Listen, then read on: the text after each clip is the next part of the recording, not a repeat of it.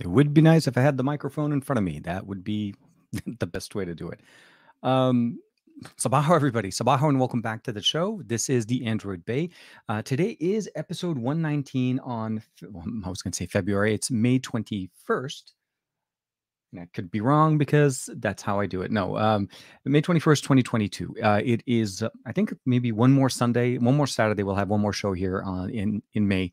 Um, but we're very quickly moving on. And I will say this if it seems I'm a little bit lower than I usually am, and that's because I am, um, I have a new chair that I'm testing. And uh, unfortunately, it's a little bit lower, even at the highest level, um, than what I typically am. So I need to configure the setup a little bit uh, as I'm testing it for the next week or so before I put out the video for it. So it's a brand new chair, uh, checking it out, new office chair, not gaming, but uh, definitely a more comfortable uh, seating uh, sitting type of chair. Um, I see we have a few people here already with us. we have uh, Eljosa, Greg is it kicking it with us, Finn Jacobs in there. Hey man, you made it early this time. Um, and of course, uh, we have Davin Davis in there, TNC, and Cherry, uh, Chemi Torres as well, and Donald Nazino kicking it with us early in the morning um, on this. Well, I, am assuming it's still somewhat morning uh, where you guys are. Um, it's this week's actually been an interesting week uh, for me on on YouTube. Has been a very slow week. I've had a lot of um, a lot of things going on during the day, during, well, day job stuff uh, that unfortunately took me away from being able to make a lot of content. There was a couple of things I wanted to cover, but I didn't get a chance to. Um, I also had to return the Xperia 1 Mark IV. Unfortunately, my time with it has ended. And uh, it's one of those things you kind of have to. Uh, sorry, I just saw Davin Davis.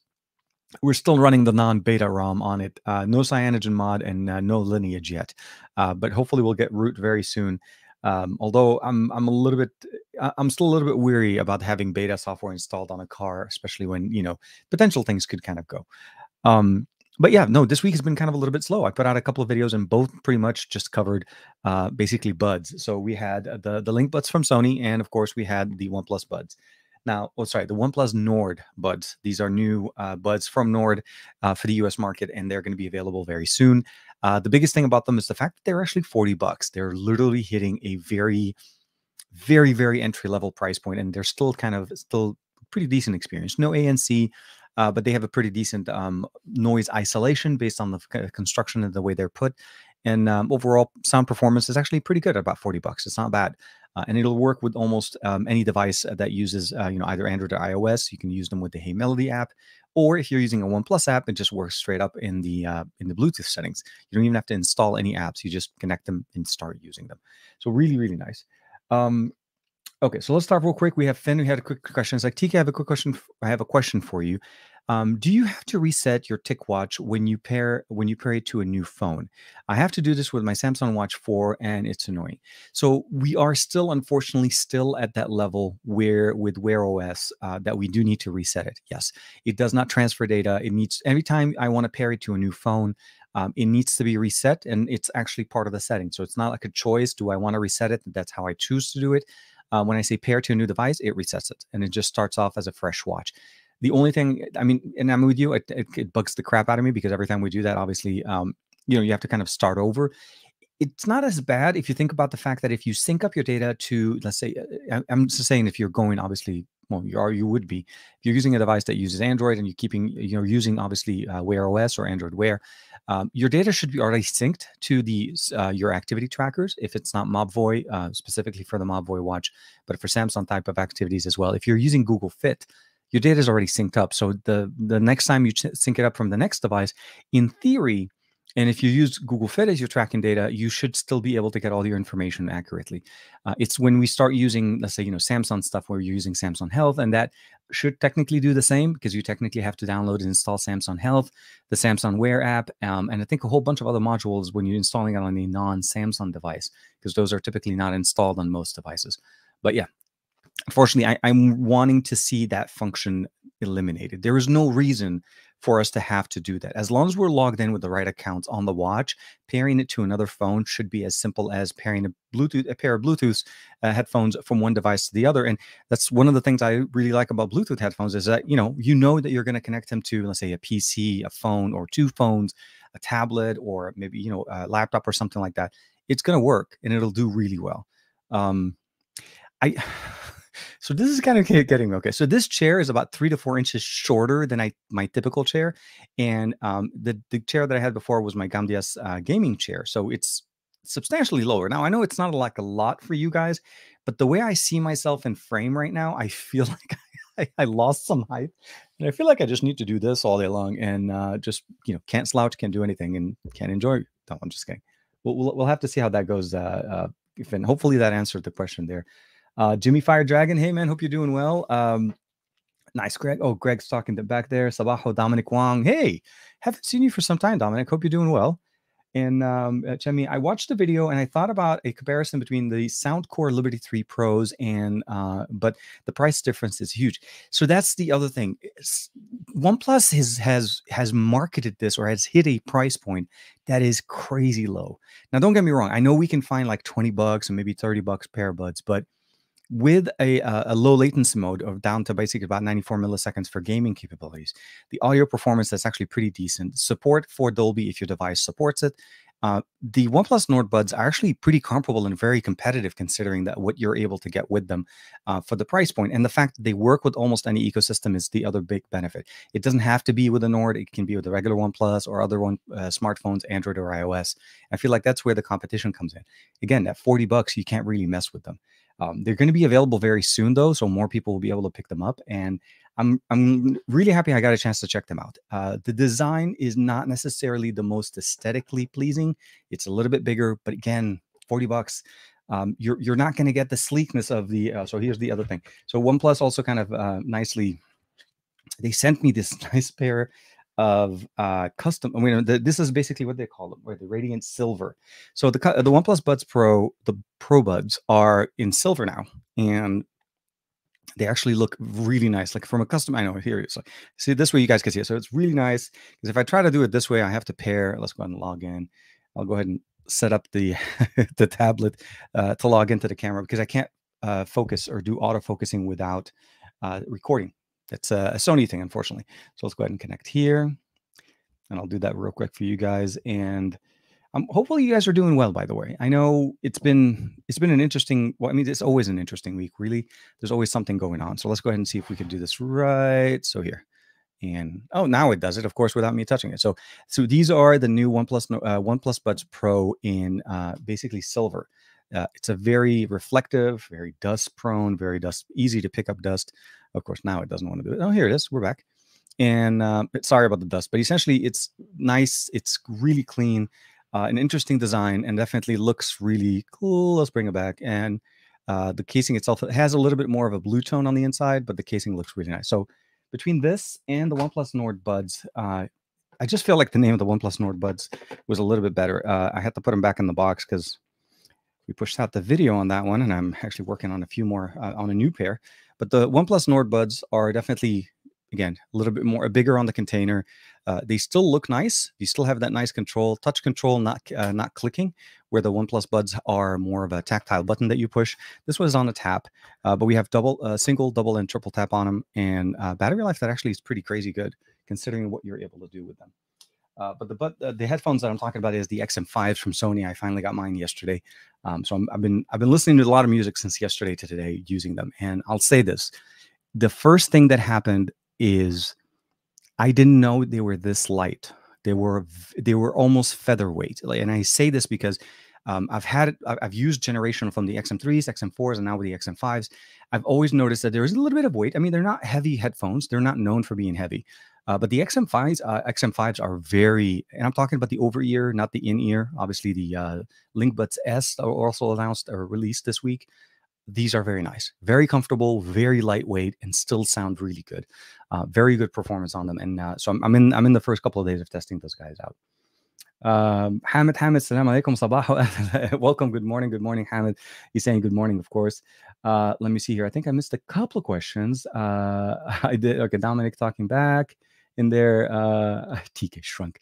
I, I, I feel that way a little bit, really. Um, so eh, long story short, I mean, obviously I need to adjust my camera angle, so the angle needs to be a little bit lower.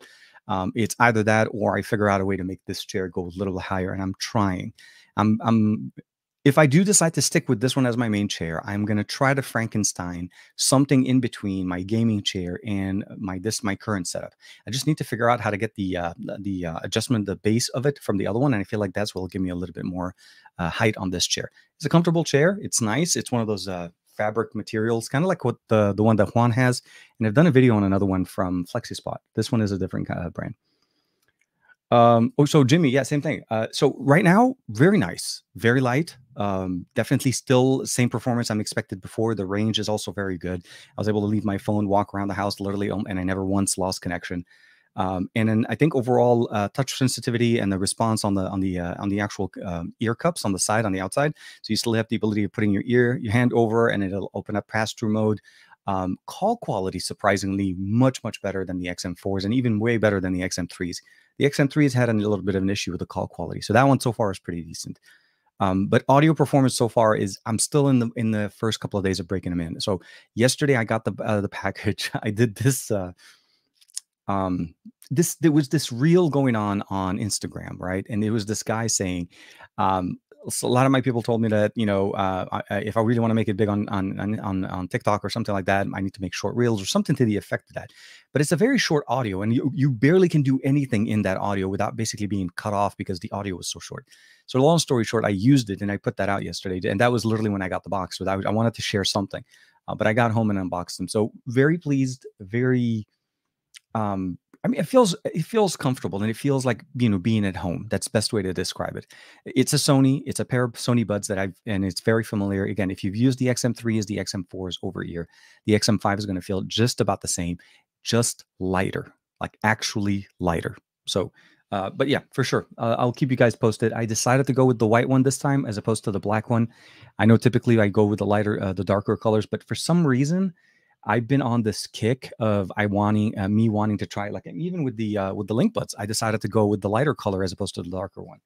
Um, so for me, it, it, just gives a little bit more uh, a, a slightly change there, but they do they do look nice. They have a more of a cream uh, color, not necessarily very ultra wide. Um, Dominic wants Jimmy. Uh, yeah, I won't be able to uh, reply too quickly. TK doing better. Okay, so here, uh, I think uh, Jimmy Fire Dragon. Oh, sorry, I missed this. A question from TNC. Um, just uh, just gone out out for the first time in a week after. Uh, oh man, I'm I'm sorry to hear that, man. I hope you're doing well. I'm I'm hoping you're over the the the quarantine phase or you know staying at home. Um, so good to have the good a good walk today. Absolutely, yeah. You know that was the biggest thing after we not myself, but when when the family did have that a while back, we were pretty much you know quarantining. Even though I wasn't infected, I just I had to still be in there to take care of the fam, so it was pretty much there. Um, I see Marilyn. Hey man, good morning. Um, I hope you're doing well. I didn't mean to say man, but I said you know good morning, welcome back. Um, Vinay, uh, Vinay, hopefully I'm saying that one correctly. Uh, TK, would you recommend now to buy the Pixel 6 Pro? Mainly worried about the battery life. So the, the Pixel 6 Pro is still technically what they have as, as the best device. And we're not going to see as something better than that until September, October when the Pixel 7 Pro comes out. So, from a sense of performance and what you're getting, yes, it's still definitely a very big recommendation if you like the the style of images and performance that you get from pixels and this is something that you have to be comfortable. If you're coming from a smartphone that is typically let's say a oneplus or a, uh, or a samsung or uh, you know a flavor version of a, uh, of an android device and you're comfortable with that you have to also understand that pixels are very different in that sense. But what i would say this the Pixel 6 Pro battery is pretty decent. It works very nice, and we keep getting updates, and it's getting better every time they provide us an update. So we're getting the security updates every month. We're not getting the you know four to five different updates that Samsung's pushing out this month for some reason on the S22 Ultra. But the short answer is I still would recommend it. Uh, my question would also, my only thing would probably be is this is your do you have a requirement for the telephoto lens? Do you need or do you rely on have or do you need to have a telephoto lens? A very a really good one. I'm not talking digital i'm talking you know actual uh, telephoto lens. Because if that's not something that's very important for you i may recommend going with the pixel 6 the pixel 6 actually is definitely the better bang for the buck realistically. Uh, now the 6a is going to be still powered by the same processor but the experience is definitely tailored to be around the 450 bucks. That's where it's going to be. So you have to understand there's going to be some compromises, materials changes, and so on. And this is where I feel like the Pixel 6 with the 6 Pro are a good recommendation. If you're not in a hurry, this is again why I feel like Google kind of made the announcement. They're giving us the target. It's going to be a couple of months or so, about four or five. Uh, I take that back. It's not four. It's about literally three to four months before we see the Pixel 7 Pro. So if you're able to wait, then that may be a better solution. And make sure to jump on the pre-orders once they open that up. Last year was crazy. Nobody could pick it up, uh, pick up the device. I mean, it was it was literally that hard to find a Pixel 6. Um, Okay, so uh, okay, Jimmy, I think was responding. Hey, Earl Owens, good morning, man. Hope you're doing Sabaho. Hope you're doing well. Um, I like your review of the Sony Buds. I like those buds. Those buds, seriously. I, I mean, as I said in the beginning of the video, I really didn't know how to approach open back or open ear, um, an open design for earbuds. I'm used to seeing earbuds to be pretty much always working on trying to give us that noise cancellation, that seal around the ears, and that audio experience that you always knew that that's how you felt. Like you know, pair of buds, this is pretty much what you expect. Even at the low end or the high end, you know the experience. And then Sony comes in there and just flips it on its back and just like, yeah, let me show you what to do. So when when I started using them first, the first surprise for me was the fact of how well they sounded because again I, I don't know why in my mind i was thinking that they would sound bad but it was again the design was something that i wasn't familiar with and i haven't used uh, buds like that before. This is something that's the other factor here. Then the fact of the matter that he sounded really well bass was actually pretty decent. It really feels very much like having a pair of um uh, pair of speakers. Let's say if you have two stereo speakers and you had them somewhat close proximity to your ears that's the level of experience and i did put in a little bit of an audio sample in that video um, and then later, the the availability of pass through the ability of listening to things without having them on. Also, if let's say I'm not listening to music and I decide to do something else, it still works and it works quite exactly the same way.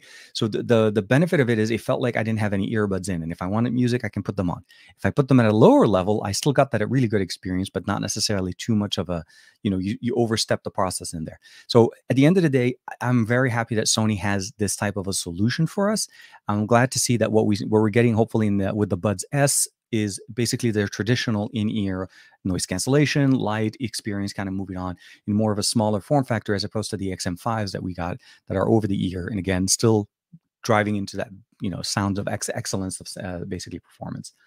Um, Jimmy Fire Dragon saying, my XM2s, uh, I can remember uh, being quite heavy and annoying, especially after a few hours. And that was the big, like I said, the first thing when you take them out of the case, you feel like, wow, um, I'll be very frank with you guys. The last time I felt this, uh, this was with the Huawei Studio uh, Studio uh, uh buds. I want to say, or the, stu- the Studio earbuds, not earbuds, uh, Studio headphones.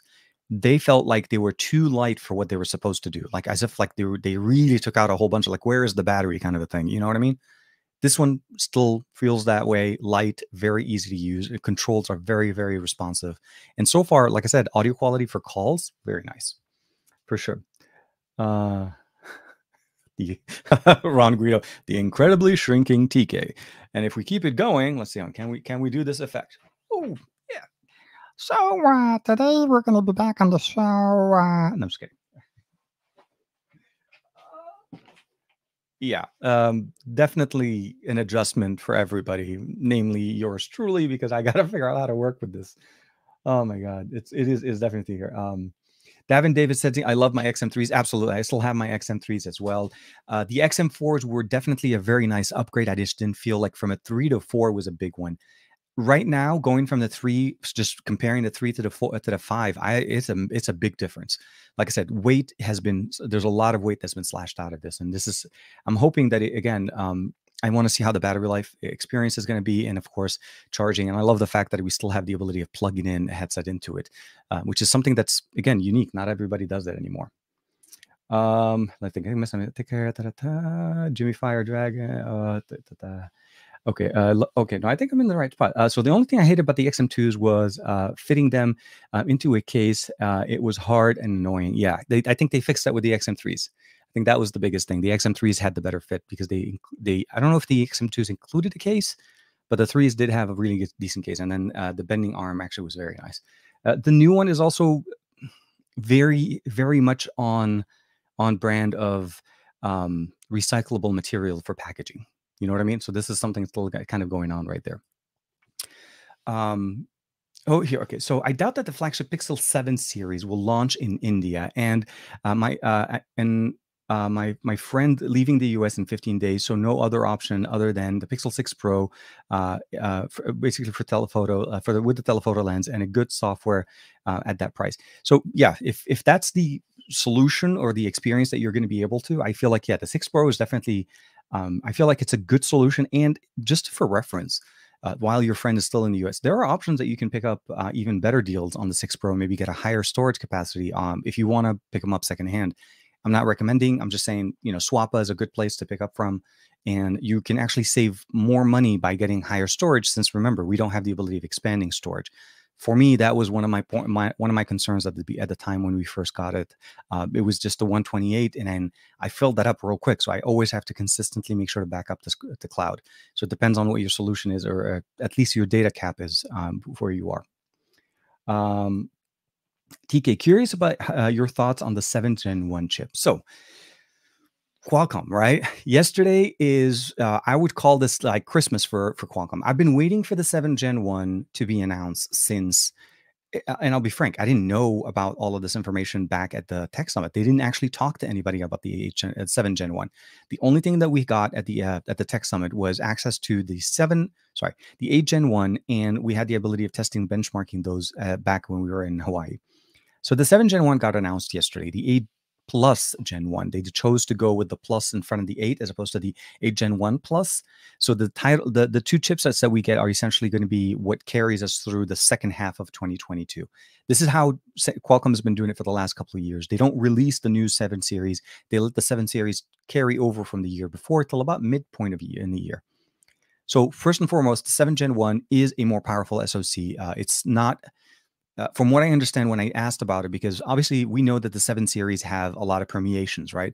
Last year we had the 778, 780, and then I think we had, there was still technically 765 still going around, although realistically those were the higher end of the 7 series. So the 7 Gen 1 is supposed to embody the next generation of what, like what the 8 Gen 1 was doing.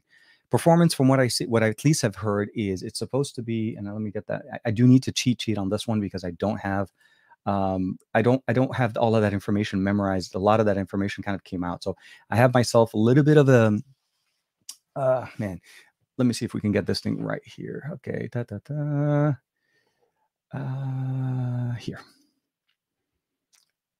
And I think I have. I forgot. I think I, I did the the the summary on this one.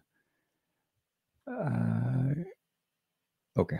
Uh, so essentially, the the be- the main capture point here, here is better gaming, higher speed connectivity uh, with the better support for a better modem in there. With the I think if I'm not mistaken, uh, Wi-Fi 6E, 3.6 gigahertz, uh, the uh, the FastConnect 6900, uh, and I'm not, on, yeah, that's the 7.1 larger, uh, larger than the life capture. They're able to support up to 200 megapixel cameras now on the on the 7 series, 4K 60 frames per second, aptX um, lossless audio technology, uh, anti-howling in there, and audio and audio contextual uh, detection also for audio processing, and then Vault-like security, obviously with their security uh, process.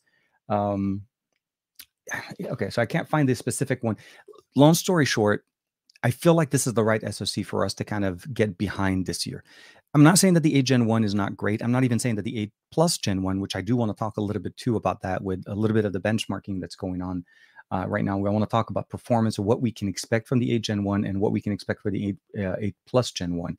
Hold on, let me just get that one here. I want to talk to you guys real quick about, ah, nope, I keep clicking the wrong file. I saved them on my system here, but unfortunately, should I should have loaded all of this. I was setting up everything in the background uh, in uh, and on the other PC, and I didn't get a chance to. Here it is.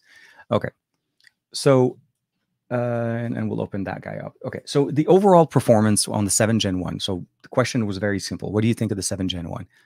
I think it's going to be the the biggest seller one, and I think it's going to be the more popular. Uh, not popular by by just popularity, but I'm saying basically based on performance uh, to price ratio. I think a lot of people will jump into those because that's what's going to be powering a lot of our mid range. They are they did bring in some of the optimizations they did to the 8 Gen one, the audio performance. They did better as well with uh, you know higher uh, clock speeds. Uh, we're still not going to be bumping into a Gen 1 thermals. So this is one of the other benefits that we get with the 7 Gen 1. Now, my concern would be obviously is how the how companies actually implement it and how do they manage it. Um, we haven't seen it. Again, I haven't had access to a specific piece of hardware. And the benchmarks that were done on the 8 Plus Gen 1 were provided to us. So we didn't actually I personally didn't do my performance testing. Last time when we were at uh, Hawaii, I actually had the opportunity to run my own benchmarks and get the numbers done. And I think that's how we were able to fact, get that question coming out is how do you manage thermals? Is the 8 Gen 1 or 8 plus Gen 1 about the same? So I'm excited to see what the 7 Gen 1 does. I want to see hardware with it. This is literally the best performer, uh, well, sorry, the best way to judge how a chipset performs reference devices and benchmarks can only take us so far. It gives us an idea of where we want to be, but landing the actual performance will always end up becoming something that the OEMs end up doing for us. So something like a Samsung or something like a Motorola or even a OnePlus, maybe a Nord will come out with this as well. Now, Xiaomi did uh, pledge saying that they're going to be using the 8 Plus Gen 1, which a lot of people are dubbing uh, going to be on the Ultra, the Mi, uh, Mi 12 Ultra coming up. So I'm interested to see how that comes out. Sorry, let me just scroll up a little bit. I think I'm behind on a few comments. Uh, blah, blah, blah. Do you think any? Okay, so here, Jimmy Fire Dragon. Do you think any other manufacturers other than uh, for, uh, other apart from Garmin will do their version of the body battery? Uh, okay, the the body battery feature. I actually did not pick up on that one. Um, the body battery feature. I, I got to look that on up. I'm sorry, uh, Jimmy. Unless you were asking somebody else, I think I'm, I'm sure, but I think you were communicating. Uh, Michael Corrigan saying is um, I tend to prefer uh, IEMs um, these days. Uh, headphones are just so big. IEMs are also the other solution as well, uh, but it, they provide a certain level of um, isolation based on the fact that they're in ear, right? So the biggest thing for me, it, it's really more of a, a situational experience.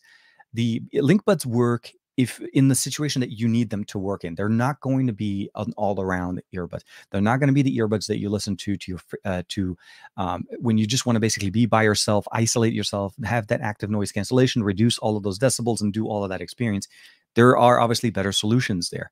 Um, headphones will do a lot of uh, improvements over uh, noise cancellation. The xm5s are definitely very nice but I feel like IEMs still give us that solution of being light, easy, um, better fit. And of course, you have, uh, once driven correctly, you're able to get really good audio as well from them. So it depends on the solution that you're going for.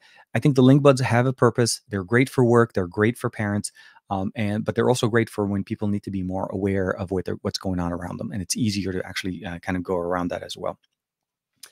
And sorry, let's double check real quick. Sorry, I'm getting getting a lot of notifications for some reason. Yeah. So here, um, okay, Dominic Wong jumping back. I think with okay Farhan. Um, it's ironic that the Snapdragon 7 Gen 1 has a much better thermal efficiency than the 8 Gen 8 Plus Gen 1 and the 8 Gen 1. I think it's the architecture, and I think it's also about the how much power they're trying to draw for uh, from the system. It's the power to uh, performance ratio that I feel like the 8 the 7 Gen 1 is still it, it's shining because it's hitting that uh, that performance level that I feel like most people can live in very comfortably without really needing all of that extra horsepower on the higher level. I think that's the biggest thing that we always uh, um, we always forget what to what to actually keep in mind. The 8 Gen 1 is a great processor. The 8 Plus Gen 1 is even more powerful, less power consumption requirement from them.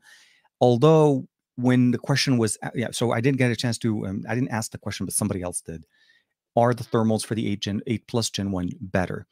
The answer that we got was very much the same that we got back in uh, you know in Hawaii was basically Qualcomm is providing the architecture and the setup on how to be able to manage the 8 Plus Gen 1. Now this is going to be based on the TSMC. We all know obviously how the 8 Plus Gen 1 is going to be based. So there are going to be some differences and I do want to see how did the 8 Gen 1 and the 8, 8 Plus Gen 1 perform overall. Um, some people are also questioning how does this compare to the uh, you know Dimensity 9000? Uh, one of the biggest things with the Dimensity 9000 processors, and I think, I don't know why I keep getting notifications like back and forth and back and back. Um, okay, so hopefully the phone will stop. And this is just seriously like a thousand, a thousand notification in one moment. I don't know why. Um, it's it's still something that you you have to kind of understand. I I, I think Qualcomm is focusing on giving us better performance. They did give us a little bit better uh, power draw on this one with the 8 Plus Gen 1. Will it translate to better thermals or would it be basically translating back to 8, 8, um, 888 type of thermals? We have to see how that kind of goes through. Um, when we kind of go down here, Jimmy Fire Dragon is jumping. In. Yes, um, I was confused uh, that uh, it was it was it was a press release instead of an event. I kept uh, researching for an event, etc. Yeah, so Qualcomm had a um, they had a uh, the 5G summit that happened a few days before, and I think that was earlier this in the week. and I think during that time, some creators had access to some of their hardware to be able to, to, to talk to them. But I think it was primarily limited to the XR2. I saw Board at Work, uh, Edabong posted a, a, reel on Instagram, and he showed the XR2, uh, uh, what they're calling basically the reference design XR2, the new wireless AR glasses. And um, th- I think that's what most people got access to. So this was somewhere in San Diego, and I'm, I'm trying to I'm trying to I, I am trying to keep trying to stay connected. I'm trying to connect again and try to hopefully be able to uh, join some of the guys over there uh, next time. There's a little bit of a meetup. San Diego to me is about an hour, maybe two hours away. Sorry, two hours or so away. It's easy for me to jump in and uh, without even having to fly. I can just drive down and come back the same day. So it's definitely very interesting. Uh, Ibrahim, hey man, good morning. Sabah good morning, afternoon, everyone. Hope you're doing well. I hope you're doing well as well.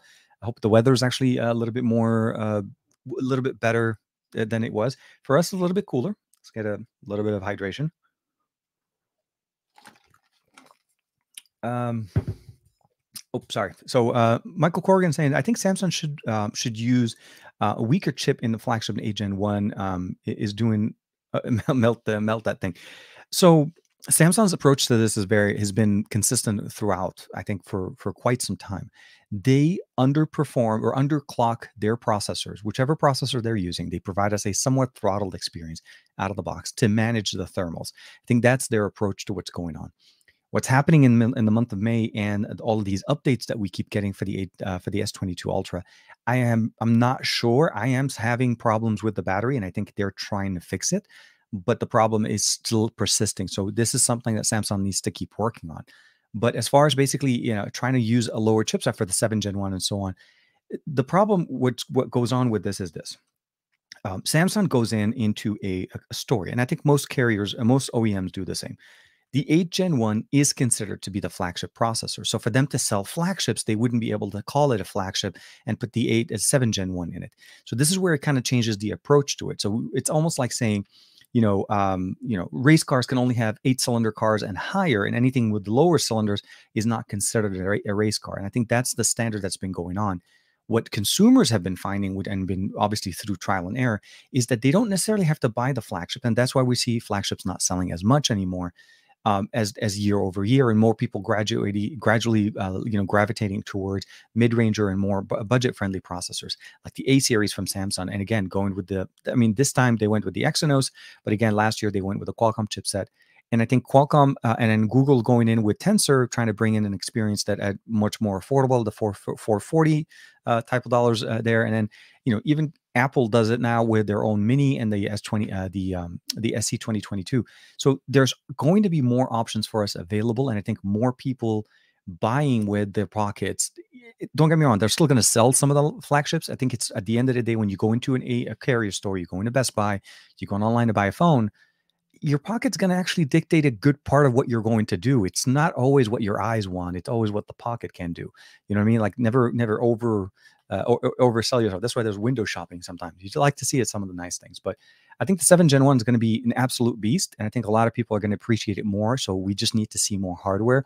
Uh, Qualcomm mentioned that they would uh, we should start seeing hardware with the 7 Gen 1 coming out in Q2 uh, Q3. So we're done with May. I'm going to call May literally almost done. So within another month after that, we should be able to start seeing hardware, uh, maybe even earlier, depending on, uh, as you know, sometimes hardware gets released in China early. So like Xiaomi has one or something like that. It'll be interesting to see what we get there. Um, Jimmy, um, and then when I heard about the uh, the launch of the 8 Plus Gen 1, I kept correcting it uh, in my head to the 8 1 Plus. Yeah, I, it, the name, I, to me, I would have thought the Plus should be at the end. It should not be the 8 Plus Gen 1.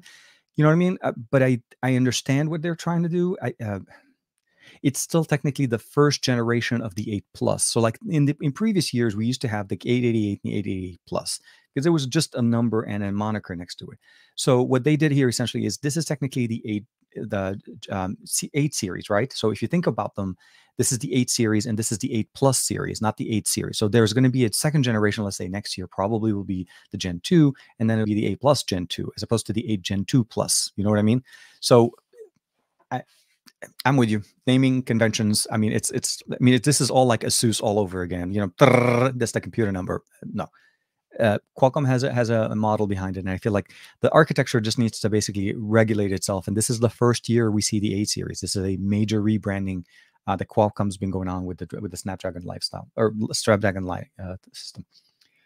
Um, is there an app that tests thermal throttling? Technically, I mean, yes and no. Benchmarking applications should be able to tell you if you're running at full potential or not um, because what they do not only is run the potential at the processor, but they also tell you what the actual clock speed of all the processors are. Uh, CPU-Z is also a pretty decent one that tells you what the system is running.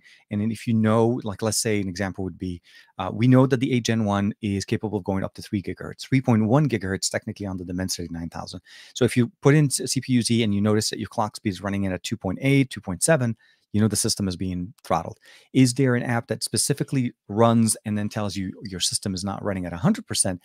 That's going to be basically a more of a subjective thing. And I say this because part of how the system runs it's governed by a kernel obviously so there's different levels to android the way android runs and part of what tells the system on what to do and how to run it's a um, it's a layer of management called the kernel process which allows the system to either overclock underclock and a lot of times that um, performance mode sorry that we have in Samsung, it literally is activating that function in the kernel, telling it, please run at this higher clock speed.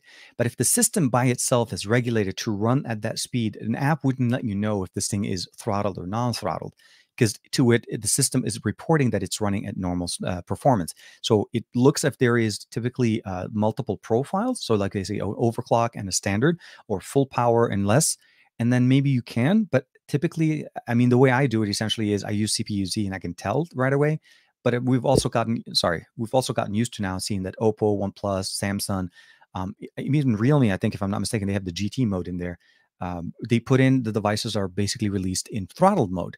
And then when you flip it over and you start looking at what Motorola does, you notice that Motorola does just like, hey, dude, you want to do what you want? Just go do it. You know, take care of everything you want. Samsung eh, throttles. Sony says, hey, let's do what you want. We'll do what you wanted. And if it gets hot, we'll we'll handle it there. Xiaomi also kind of works it the same way. So you, you kind of have to also see roughly what's going on. My personal experience right now with the 8 Gen 1, I've been recommending people if you get an 8 Gen 1 device and you have a thermal, a throttled experience built in, stay to that one.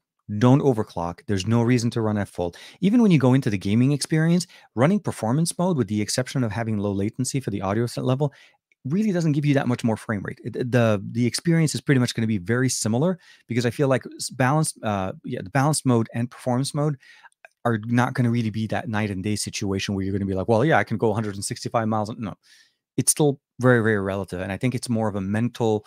Um, personal uh, experience. You can go into a custom profile, even with the uh, with the, the Xperia One Mark IV, Customize the touch sensitivity to run at high, keep the performance at medium, and then use AZ power control to give you that better that better balanced experience going across. So um, we need to be a little bit more uh, aware and methodical about what we do with our devices. And I think that's the biggest part that we're getting to now. We have a lot of options, and not all of them are, uh, are an autopilot. We need to be comfortable adjusting some of those things.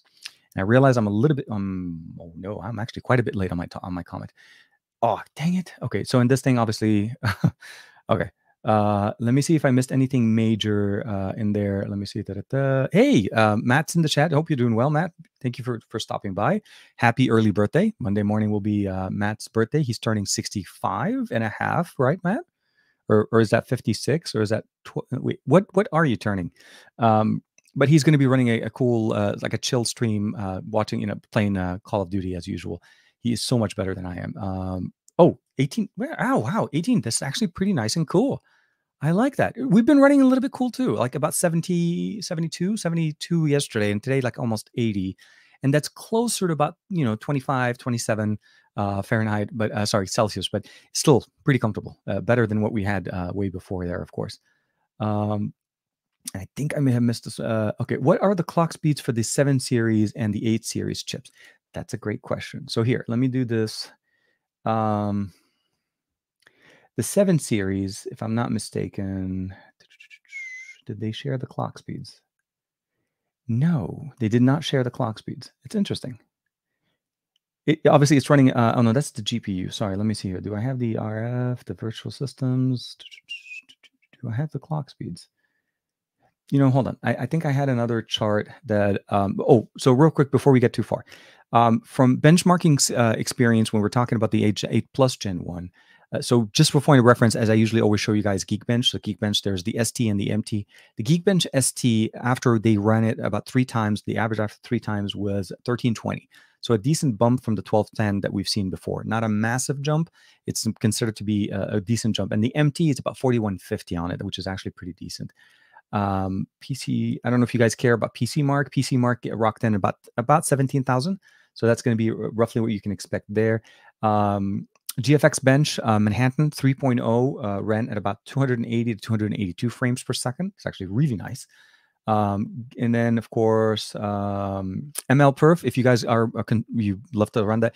Now, this one, MLPerf, keep in mind that this is a 30 minute test, so it takes a long time to run. It doesn't always run. Um, image classification ran at about 2741. Object detection about 1330, um, and then uh, image segmentation about 820. And of course, uh, language detection 103, image uh, cl- uh, classification offline ran at about 4,262. And lastly, uh, the image uh, segmentation is about 681 um, on the brand new uh, 8 Gen 1. And then, of course, 8 Plus Gen 1. The AnTuTu ran in about, um, what's it called? 2,904,042. So pretty, pretty high um, overall. But let me jump back real quick on the. I think I I think I have that data. I'm not trying to. Uh, I'm not trying to. Uh, here, let's see if I can get that here. It Gen one. Um, oh, I keep going to the wrong one. I love it. Saturday morning. Okay, here. Uh, did they share the clock speeds? No, that's again talking about the, uh, the camera performance. I don't know why I thought I had access to it. I, I I thought I had the information. Let me see if I can find that for you guys here. Da, da, da. Uh, I yeah, okay. I, I I don't think they shared the specific clock speed on them. Although I wished it was something that was. Uh, I know that obviously there's going to be different ones. So from uh, for the seven Gen one, we're going to see devices coming in from Honor, Oppo, Xiaomi, uh, coming up in. Uh, oh, actually Q two. So they're recommending seven Gen one will will come out in Q two. And then as far as the 8 Gen 1 Plus, it's going to be coming in obviously from Honor, uh, ROG, Black Shark, Lenovo, Motorola, Nubia, OnePlus. OnePlus. Are we actually going to be getting a OnePlus Plus? Um, no, I mean OnePlus 10 Pro Ultra. So maybe there is going to be an option in there. Uh, also, uh, OS um, Osom. I've never heard those uh, that company before. Realme, uh, Real Magic. Uh, sorry, Red Magic. Of course, there'll be the the you know, edition. The Redmi, the Vivo, the Xiaomi, the ZTE. Man, it was everybody, uh, everybody, and and and then some.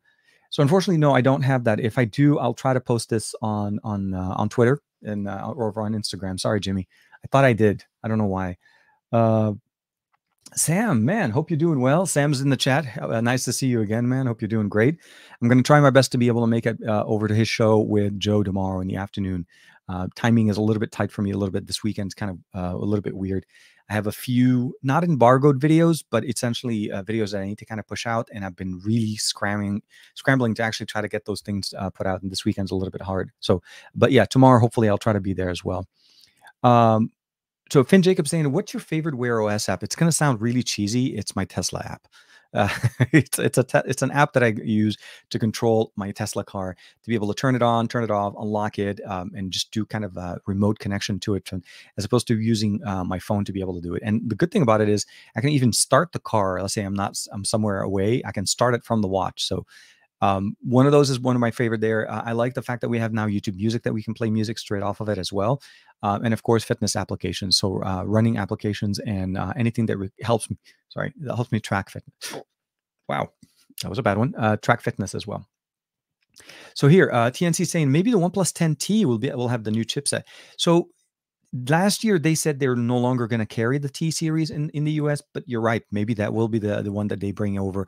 Historically, though, the T series has never been the one that runs the new SoC. So OnePlus typically doesn't run the latest and greatest. So we've ever seen um, very I almost want to say the last time I saw the, them using the latest SoC was only on the McLaren edition of the OnePlus 7T 7 Pro, and that was because they needed to be able to bring in uh, the 5G technology with a separate X50 modem at the time. So there is a quite possibility that we may see an Ultra. This is something that maybe Qualcomm may have tipped uh, OnePlus's uh, uh you know uh, hat in a specific direction. Um, I okay, I'll say this: I am aware of.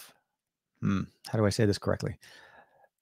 at at MWC, I was I was able to uh, through th- through some chatter and something's kind of going on. I, I heard that there potentially will be another device coming up later on in the year from OnePlus that is featuring some new technology.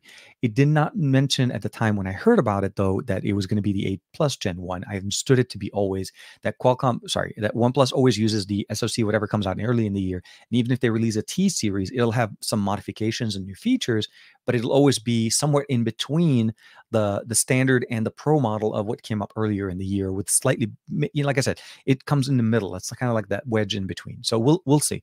I don't know if they'll make the 8T if they do make the 10T Pro a better phone than the 10 Pro.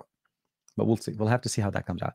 And typically the T series is not a Pro. It's just typically just a T, if I'm not mistaken. Um okay, hold on. Very same uh, uh, Sam Greg DK, sir. I hope you're doing well. Uh, ER Ibrahim's uh, jumping in. The 7 Gen 1 is a successor of last year's 780 and 778. Absolutely. It's not the 765. It's a successor to both of those. And it's taking over uh, right now with only one SKU or one model. When I asked if there was going to be variation, they did say they will, but at this point, they're only announcing the main system or the main series itself. So we'll have to see how that kind of comes up as well. Uh, oh, uh, Farhan saying is uh, Vivo is also um, on the list. I assume that the X80 Pro Plus will happen. So this is where Juan and I were talking about a little bit as far as what we're looking at, what the X80 Pro is doing. So Juan also unveiled, uh, finally was able to talk about the uh, the X80 Pro Plus. I've been excited, to, waiting for him to kind of do that, you know, put that content out. Um, his understanding is that the X80 Pro is the successor of the X70 Pro Plus that we saw last year. Now, yes, the X70 Pro Plus that is featuring the 8 uh, the 888 Plus, so it's running the latest SoC from Qualcomm during the time it was released. So there is a very very good possibility that that could happen. I'm not sure if maybe this is going to be another version of any of a Vivo because they also listed iQOO in there. So iQOO's getting it as well, not just Vivo. So you have to kind of keep it, you know, the other side of Vivo if you want to talk about. Um, but yeah, we'll we'll have to see. Honestly, I'm lately I've been on the hunt for a 70 X70 Pro Plus. I'm trying to see if I can pick one up uh, used a little bit.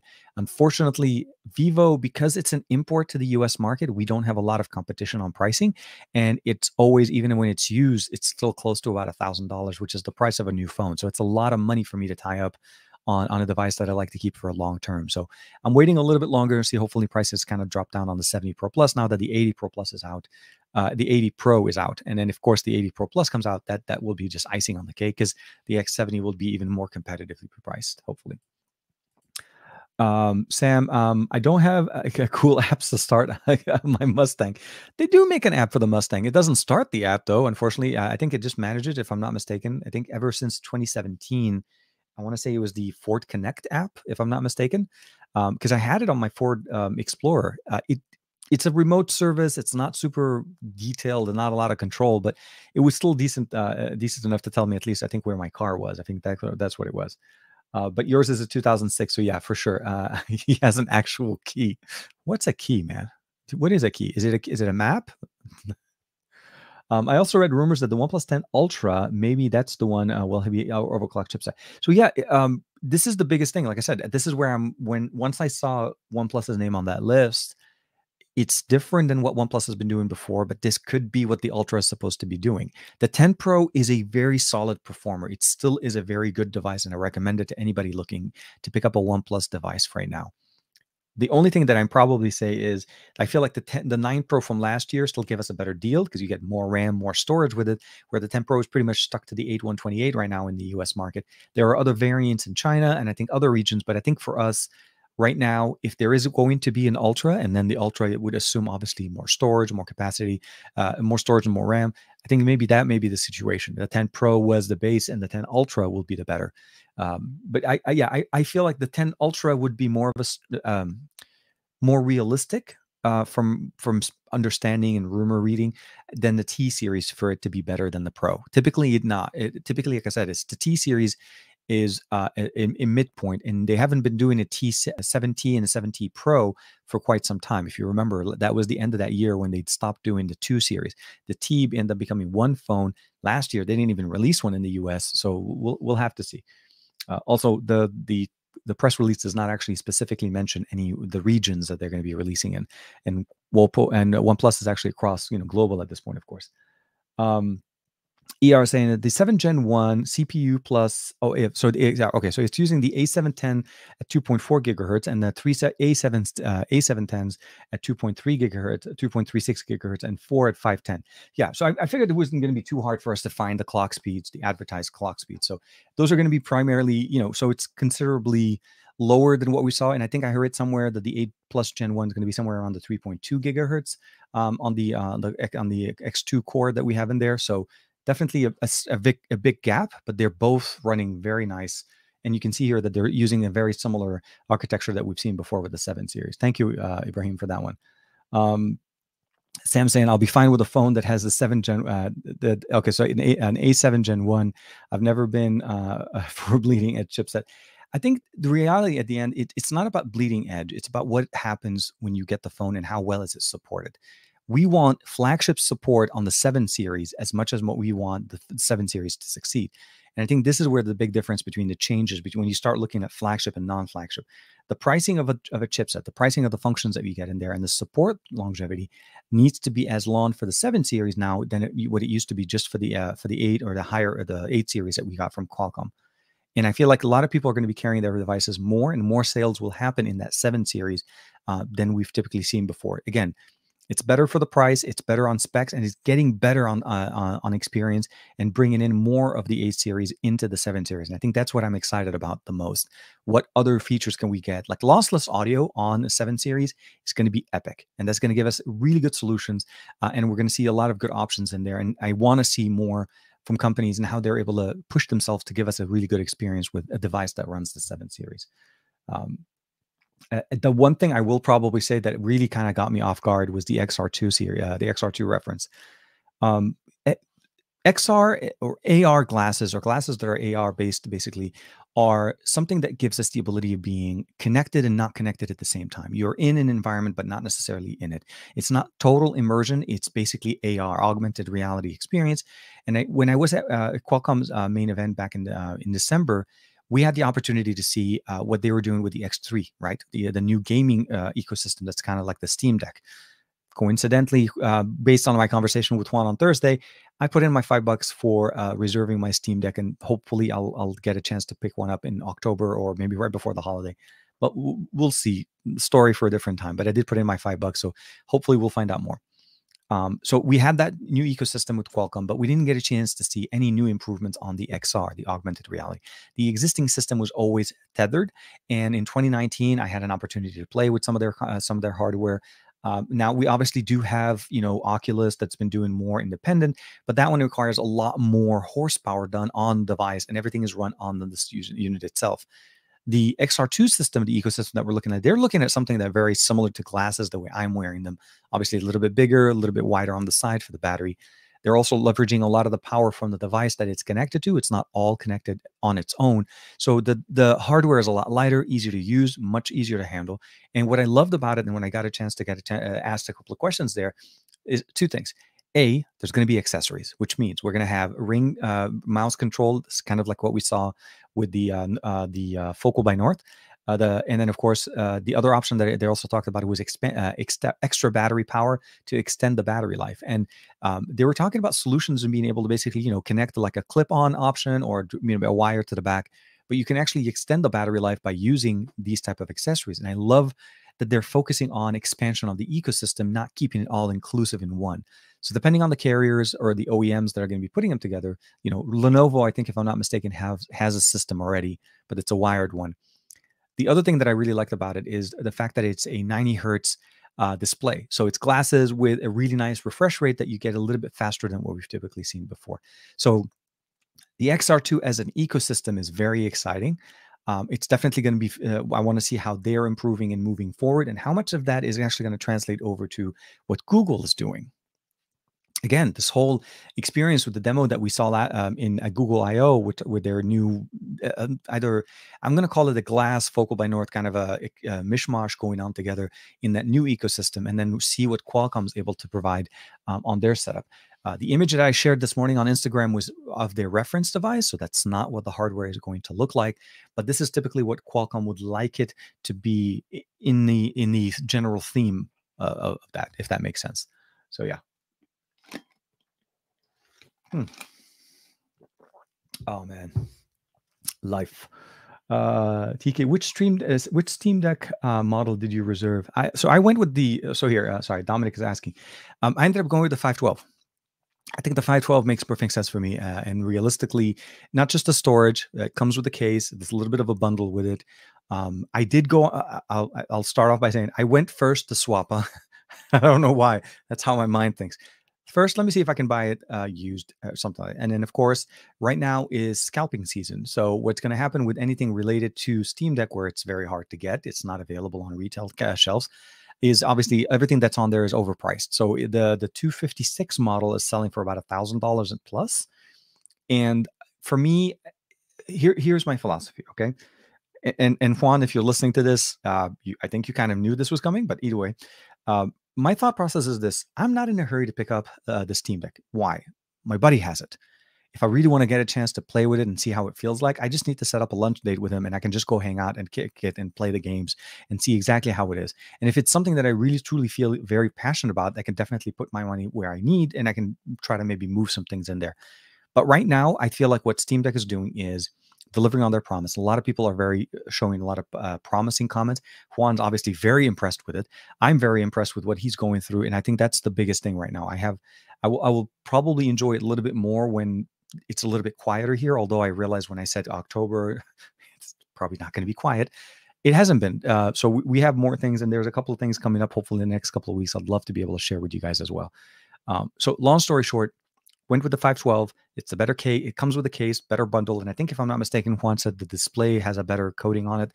Long story short, uh, hopefully, if I'm able to pick it up, yeah, I'd love to get the 512 because I feel like for the the library that I have, my games typically are much larger in format. So if I'm able to get Call of Duty, something like that at some point, yeah, that thing will nuke 256 in two seconds. and it's not something that I want to be able to put on external storage. I want it to run on the fastest possible internal capabilities. So for sure. Um, a lot of okay, uh, okay. So while we're doing this here, hold on. Let me see if I can find that one. There's that one chart that I thought I had a general plus. No, those are. Uh, is it here? I, thought I, I, I may have put it in this one folder. No, it's not in this folder. Okay, so I can't find my my specific benchmarking uh, charts in there that uh, the numbers that I was actually putting in there. But um, some of the other things that have also kind of going on with me, at least lately, is I've been just heavily focused on both things, kind of work, day life, and and, and just trying to keep things kind of running. Um, I'm trying to get back into my normal uh, workflow and trying to get, get back to working. Um, I have a friend that's helping me with editing videos. I haven't been able to actually help uh, use them, uh, use their help because I've been so like literally almost like last minute kind of producing content. I have a couple of videos that I'm going to be pushing out probably, if not tomorrow, probably maybe Monday morning. Um, on the Xperia One Mark IV. I have uh, I've, I've, already shot the videos. I just need to edit them and put them in a in a in a format, and that'll be on the Arabic on the English channel. Um, the biggest thing I'll probably say is this the 7 series is where I feel like most of us would be comfortable in there and would not even sweat having an 8 series requirement. The 8 series is very powerful and there is a, a there is a reason for why they're there. But I feel like I think at the price point that we're looking at, I'm worried that when we come out with the 8 Plus Gen 1, that devices are going to be even more expensive. If OnePlus does release an Ultra, and again, the the the Pro is at eight ninety nine. Imagine obviously maybe one to two hundred dollars more, and we're already at basically eleven hundred, a thousand to eleven hundred dollars. That's something that we have to kind of, and again, pure speculation. This is not information from any company. Um, it's going to kind of come back and add. You know, the question would be: Is is it worth that much? Is it really worth that much more money for the eight plus? Uh, or do you want to stick with the eight and get the uh, the One Plus Ten with a different storage and RAM conf- configuration? Something to keep in mind. Um, the eight, uh, the the seven ten one, I think once we start seeing devices announced and we're able to start getting hands-on hardware, we'll start actually see, see some of the main benefits. I think the ability of shooting with a 200 megapixel camera on a seven on a seven series on a mid-ranger device is nice. Although I think it's a it's a more of a theoretical stage because I don't think anybody would put a 200 megapixel camera on this. I mean, 108 I think right now is pushing it. Um, keep in mind a higher a, a, larger megapixel camera sensor on a phone is only as good as the post processing or the processing power that this phone has and the processing algorithms that the company that's using this sensor will apply to this sensor. You can still technically take bad shots with something like that if hdr is not implemented correctly you're not able to basically utilize the full potential um, and the fact that the matter is even at that level they're still pixel binning down to about 12 to 16 megapixel camera images. So you have to also kind of appreciate where we're going there I think what I would appreciate more is the efficiencies on the modem, efficiencies on processing, uh, maybe better, uh, you know, clock speeds, and of course processing power uh, overall, but not as much on power draw. So, yes, I definitely want to see a device that's released with a seven series and maybe referred to as a light edition of a gaming phone to start getting that experience. I think, um, if I'm not mistaken, I think Red Magic did release. I forgot what it was. One thing it was like the 6R and that was supposed to be a, a more budget friendly version of their gaming phone that was running uh, again that was sold the, during the year of the six series. So seven series, I haven't seen that yet, but we may see something like that later on uh, once they release the 8 Gen 1, 8 Plus Gen 1 on the Red Magic. Uh, Okay, so here, Farhan jumping back. Speaking of the Steam Deck, um, I'm not. It's not available for reservation in my country. Uh, getting one to Malaysia uh, will be a really tricky challenge. Yes, it, it's it's really very much uh, still. Uh, again, it's it's part of the whole reason why there's such a high price for scalping. Uh, it's the fact that it's a not easy to get, not available everywhere. Um, and again, uh, for me, all I did today was I put in a five dollar deposit, saying I'm interested in one and they're they hopefully will put one in my name for you know they said October 2022 or later. Obviously, I'm expecting it to be September, you know, October, maybe even November. Um, if it gets here before Christmas, then it's still nice. I'm hoping I'm hoping it still holds up well. And by the time I get it, there's enough improvements done on the software that my experience would be definitely a lot better than maybe the first people, first few people that did get uh, hands on and they maybe had some concerns. So I'm hoping that that's going to be the best way to kind of look at it. I'm, I'm like skipping over all of the software updates that typically will get things you know, perform better as time goes on. So we'll see how that goes. Um, Dominic jumping back. Uh, TK, perhaps we should skip the 8 Gen 1 and the 8 Gen 1 Plus and wait for the 8 Gen 2 instead when Qualcomm fully remove uh, fully moves over to TSMC. So I think it's a I think the approach that you're going with is a um, it's a good thought to be able to consider maybe skipping in and go in there. What I probably will see is I want to see the shift I want to see exactly how does the TSM because remember we're talking 8 Gen 1 and 8 plus Gen 1 and we're talking about a shift. There is one of the big thing the big things that they they, they pushed for us in the announcement was better performance, less power perform less power to performance uh, draw. So in theory this should still provide us a better experience than what we get with the 8 Gen 1. Is it is it going to translate exactly to that on paper or on hardware? That's going to be challenged because again, every device is made differently. Every device is made by a different company, and it's uh, and it's managed differently. So we have to also see what the companies are going to do. I feel like the 8 Gen 2 hopefully will be better, but I don't feel like Qualcomm is going in with we're going to be reducing power. I think the, the approach that Qualcomm is going with is look, we're going to give you the power. We're going to give you the, the the the processing power, the horsepower, the engine, all of the things that you want to do the Lamborghini style performance. It's up to you on how to manage that Lambo and how to manage the cooling system so that the Lambo can perform at the level that you want it. OnePlus OnePlus does a very decent experience monitoring where they throttle the experience and they, and they almost like purposely cap you at 60 frames per second gaming so that you get a very consistent gaming experience, but again, still not exactly at 120 or maybe even higher, depending on the games that you're playing.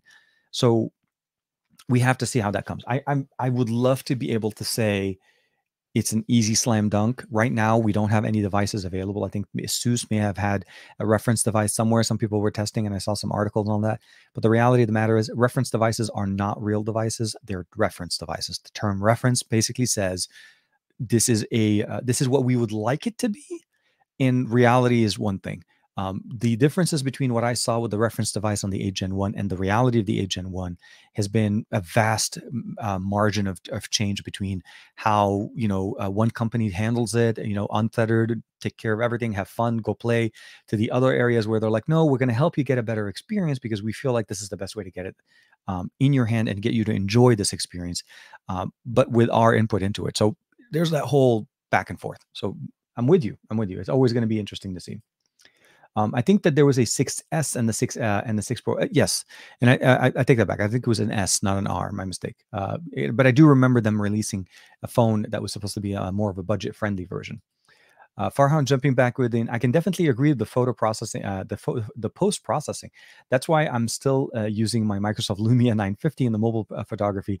I can't, um, I still can't find one that truly uh, surpasses its processing, and it's going to be something that I, I think this is the biggest thing. Realistically, we've gone to the point now that smartphones are are viewed as as and I, I, forgot who, who who put that comment, but I totally agree, and I can't remember their name. Somebody said that we need to stop referring to our phones as smartphones or phones or telephones because at the end of the day, realistically, they're no longer just that. This is not just a phone. I don't you okay. I, I rarely ever make calls on this, but if I do make calls, that's about the one thing that makes it into a phone.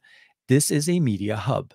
It truly is a media hub. It's a content creation and media hub that happens to have phone functionality. We have moved beyond that. The, the, the end of the iPad is because we no longer needed media players only. We want media players and the functionality to be able to send or receive text messages, iMessage, and so on. Insert all the you know Apple ecosystem stuff. But it's the same thing on Android, right? At its core, this is a storage capacity with a processor, a GPU, uh, a camera module to be able to give us some, uh, you know, access to the uh, the external world, and of course, being able to be part of it.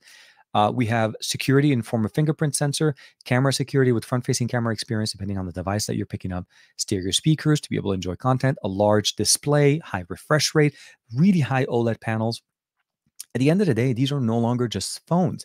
The word smartphone I think has been surpassed. These these are media hubs. So I don't know. I mean, when I saw the comment, it clicked in my mind. I'm like, it makes sense, right? The phone functionality is such a low priority.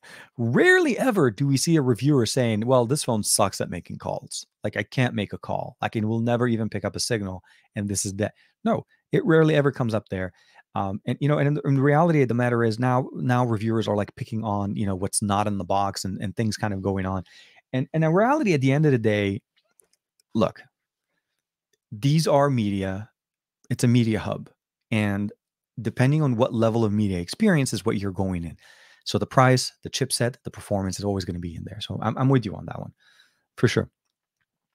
Uh, hold on. I think I just saw somebody. Da, da, da. Oh, Jay Jetter. Hey, man. Hope you're doing well. Hey, what's up, uh, brother TK? Hope you're doing well. Uh, we're we're doing really good. It's it's Saturday. We're here, and uh, the Android Bay episode 119 doing really nice.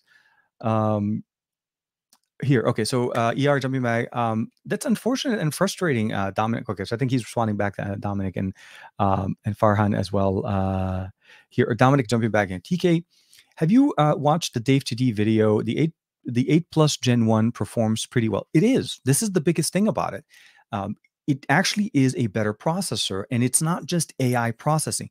Last year with the 888 and 888 Plus, it was mostly focused on AI processing. It wasn't really true horsepower performance. This one is trying to be 30% faster and draw less power from it. Again, the, the one thing you want to keep in mind okay, we've gone through two generations of heat generating processors or warm uh, processors that can get pretty hot or warm. So even though it's technically lower, you have to understand that it's higher and lower than where it was at the 865. So the 865 went in there. We have the 888, and then we have the 8 Gen 1. The 8 Gen 1 Plus is 30% less than the 8 Gen 1. Uh, the Plus is, but it's not going down but from, from the 888, from the 8 Gen 1 down to the 865 level. It's still playing around the 888 and higher. So it's a combination of two things. And like I said, it's really more about how OEMs handle it. Um, and I don't disagree. I actually do think the 8 Gen 1, the 8, uh, 8 Plus Gen 1 is going to be a better processor. And if I have to, once we get a chance to play around with it and see how hardware is performing, yeah, there may be some benefits. I, I just want to see tangible benefits. Truly something that I can put my finger on and say, look, this is really why the 8 Plus is better than the 8, the regular 8. And I think that's where we're going to get there. Um, I didn't get a chance to see Dave's whole video. I did I catch part of it, um, but I, I think we'll, we'll try to go back and catch uh, the whole thing as well. Um, I love uh, Dave 2D's style of approach to talking. It's very chill, very easy, and just basically gets to the point. And I love the storytelling that he has in there as well. Davin Davis, uh, the the six R uh, was more uh, grown up looking. That's more appealing to wider audiences. Uh, I love that one, man. I love that. Uh, oh, see some people. TK, I was thinking of smartphones. Uh, uh, sorry, uh, I think smartphones replaced the point and shoot camera. So, for the most part, yeah. If you think about it, um, I mean, Sony still makes the uh, you know the ZV1, the ZV, uh, the ZE10, and kind of kind of a thing. But yeah, the RX line kind of went out the door, right? Um, most point and shoot that used to be like I remember Oh man, uh, so I I, I want to say I found some from some footage uh, through Google Photos and so on of I used to have a, a Canon point and shoot. I remember traveling with my wife with a Canon point and shoot because that's how we captured our images uh, back like in 2008. Obviously, you know that's like a lifetime ago but the fact of the matter is, yeah, smartphones have replaced it. When we buy phones now, we buy them with the understanding of how well are their pictures. Do they take great pictures? This is a question now. That when I, my mom, when I when I talk my mom or, and my my in laws uh, about phones, they're asking me, does it take great pictures? It's a requirement for them because we no longer want that. You know, carries two different things. You just want to have a good experience, fast enough, and great images. And I think once you do that, and once you show people what a pixel can do, you're like, okay, I like it. How do I get it? That that's the type of thing I, I love about that one. Sorry about that there. Okay. Oops, I just jumped like 6,000 messages again. Uh, da, da, da. Okay, Jimmy Fire Dragon, uh, even life. Uh, uh, you know, actually, Ron, Ron, Ron Guido, I think it's a, it's, that's also a nice thing. It's called a life hub because at the end of the day, we have so much stuff on this. I mean, this is crazy, but it is one of those things that, yeah, it is your life is on these things. You know, your memories, your experiences, your your your tools that you use to manage things in life, and your tools that you use uh, to connect with people in life. We're talking through technology. There are, I'm sure, some of you guys that may be watching me directly on a phone, and again, that's the way we communicate. Um, now, I choose to have something slightly different when I'm talking here because I produce content as well as I obviously, you know, shoot, uh, you know, uh, stream and so on. Um, but at the end of the day, when we're looking at devices like these, these are truly hubs. And we are starting as consumers to be smarter and asking more things of it. This is why when when new devices are launched, there is a big portion of that uh, launch event talking about how the cameras work. It has nothing to do with phone calls. So smartphone, I think the term needs to start slightly fading away because we've moved on beyond what this is. This is no longer a phone. This is this is just literally um, you know it's it's a hub. It's like i said yeah it's a, it's our media hub for sure. Um uh, let me see here. Uh here. Okay. So let me see here uh, da, da, da. Yeah, no, no. Uh, a lot of things kind of going on there. Oh, yes, Jimmy Fire Dragon jumping in. Um, I was listening to the Android Central podcast, and they were saying that the new seven series chip is heavily, uh, sorry, is heavily rumored to be uh, on the Nothing One. Oh, okay. So that would be interesting if Nothing decides to go with that. Uh, but it's something that is that. Um, so the nothing conversation is a is a little bit still cloak and dagger. I'm not dagger, but a little bit in you know uh, secretive and silent kind of things going on. Um, we know that they're looking at probably bringing in the keyboard factor back in there. We're also looking at possibly you know trying to reinvent and try to do different things. Okay, sorry guys, I need to respond to this real quick text. Um,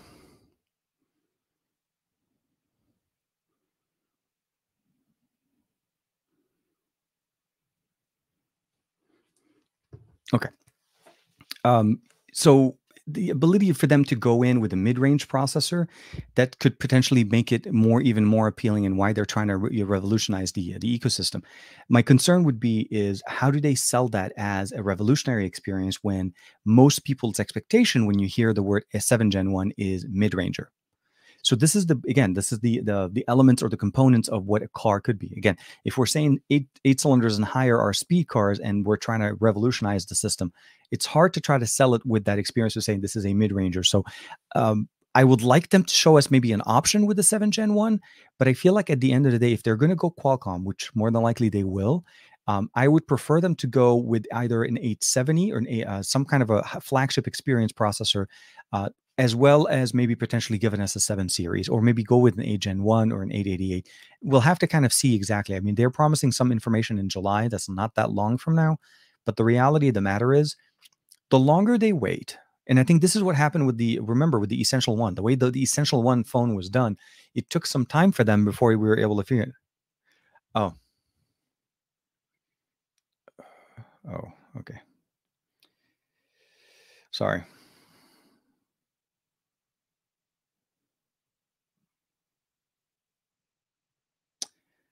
I just realized what what happened there. Um, okay, sorry, my wife's texting me. Uh, but yeah, I, I think at the end of the day, we need to kind of see what's going on realistically with um, the the financial and not the financial, but like how much are they going to cost? How much they're going to be able to really disrupt the system if they're releasing a mid-range or processor? It's going to take some kind of a, a approach there. I'm I'm worried if if they would release it with that and still trying to make it into the the, the driving force and all the all everybody kind of jumping in with it.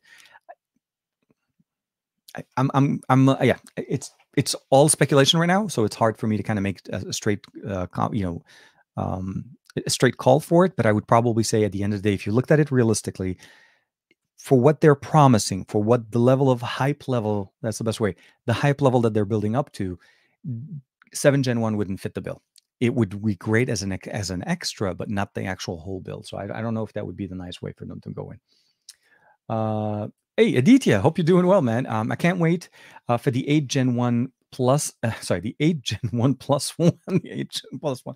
Oh my God, Aditya is just uh, just definitely uh, as uh, destroying the titles. Yeah, no, um, the naming convention can definitely be a little bit better, but I understand why it's the 8 plus, not the 8 Gen 1 plus. Uh, again, it's it's a new nom- it's it's a new moniker. You got to remember they they've revamped the whole thing with the 8, 8 8 Gen 1. So this is obviously their way of setting up. Look, we're still going to create higher performance versions of our processors. Again, keep in mind this one is clearly stating a 30% uh, bump in performance with power draw. So we are going to definitely be able to see a substantial performance benefits here. So we'll have to see how that goes as well. Um, oh, uh, Aditya saying 15 years ago, someone claiming to talk to people through their TVs would probably have uh, have been considered a sign of mental illness. Uh, nowadays, streaming has become a very viable career.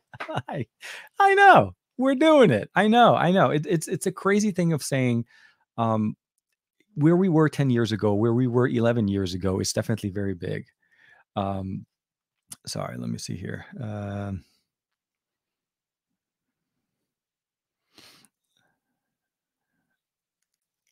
got to respond to my wife and make sure she's cool.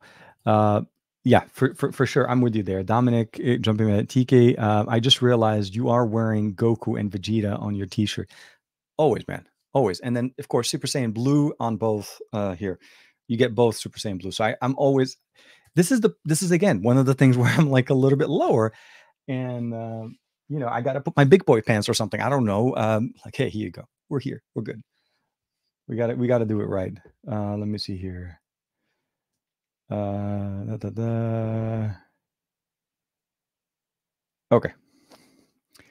Let's let's we'll do that there. Okay, so let me jump back here and here. Da, da, da. Release. Um, I was I I was about to. Uh, everything okay? TK seems like something is wrong.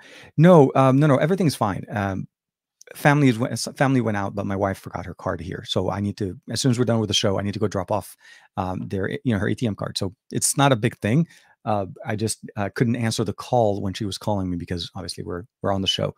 Um, if the Nothing phone comes up with the Snapdragon AS7 Gen 1, they uh, they will need the price the same as the Pixel 6a, in my opinion. I feel like, don't get me wrong, if they do, that obviously will be the experience that I'm expecting. I, I, I we have seen uh, 7 series go into the 600 into the 700 dollars depending on the manufacturer that you're looking into. But yeah, for for nothing to make the the that impact that they're trying to shoot for that that real um, you know movement of revolutionary uh, um, trying to do these things that we're expecting from you know from Carl Pei that needs to be a big factor. The price point has to be a big factor of making it appealing there. You can't go in there with that high price. Now they could go with the OnePlus methodology of the way they used to do it. OnePlus started with a low price and then every year creeping up the price ever so slightly to now becoming the standard de facto pricing of what we get. So we'll have to see how that kind of goes. I think at the end of the day, where we are right now, it's still speculation and a lot of what we would like to see the uh, the nothing phone become. I'm hoping again that with all the investment and everybody on board, that they have a really good out of the out of the gate kind of an approach because expectations are high. expectations are not only high enough because of speculation, but it's also because Carl Pei went over and they had an event and trying to get uh, more funding to try to get more people to help them reach that goal. So the the one thing that I would probably say is nothing has a lot of expectations and they need to at least meet or exceed that. Otherwise, it's going to be a very hard conversation. It's going to be very hard to convince investors if that initial out of the gate is not promising and not moving in the right direction. This is where I'm worried and I'm a little bit wondering is really would the 8 Gen 1, uh, sorry, would the 7 Gen 1 be the right footing to start on? That will be where we are. Uh, okay, well, actually, I didn't have one here. Uh, yeah, no, no, I think I think everything else is okay, guys. I double checked, and uh, overall, I think all all it is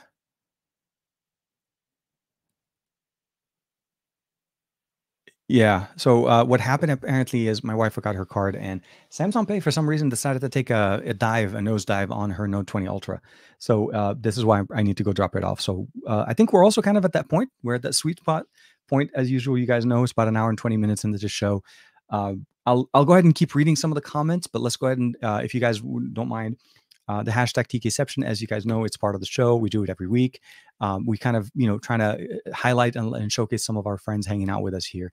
Uh, but as we're doing that, um, I think uh, Ibrahim says, if nothing phone comes with the Snapdragon One, oh yeah. So I think that's the comment we were looking at before. Good morning. Oh hey, um, um, I think I'm saying uh, Cor- Corleone.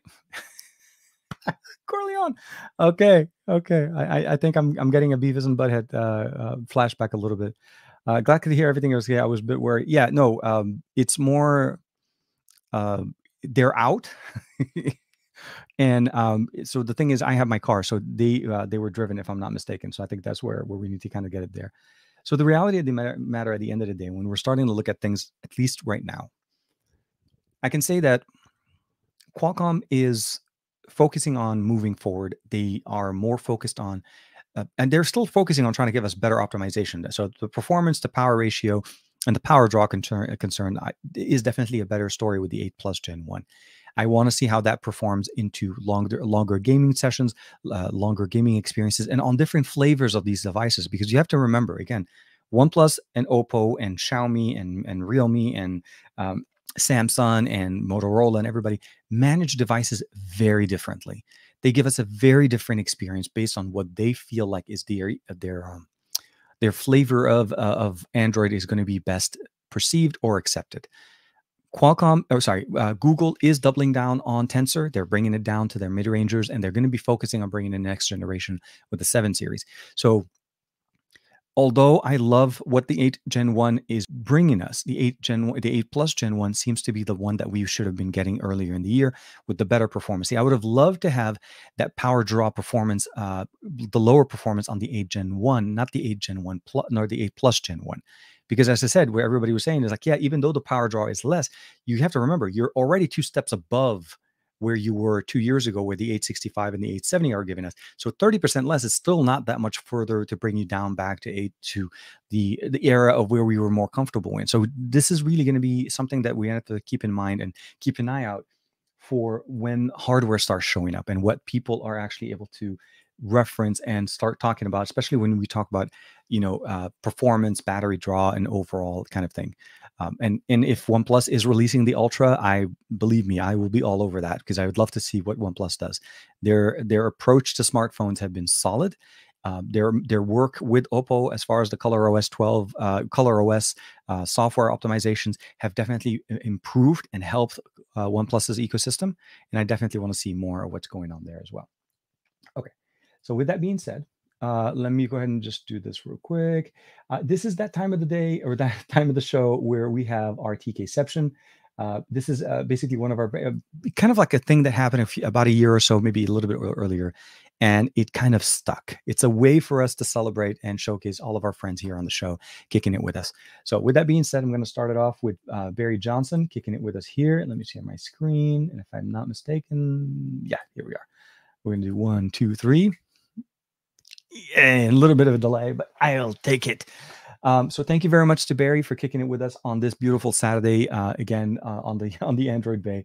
Uh, thanks to Greg Aditya kicking it with us, uh, and of course Finn Jacobs uh, always kicking it with us. Love it.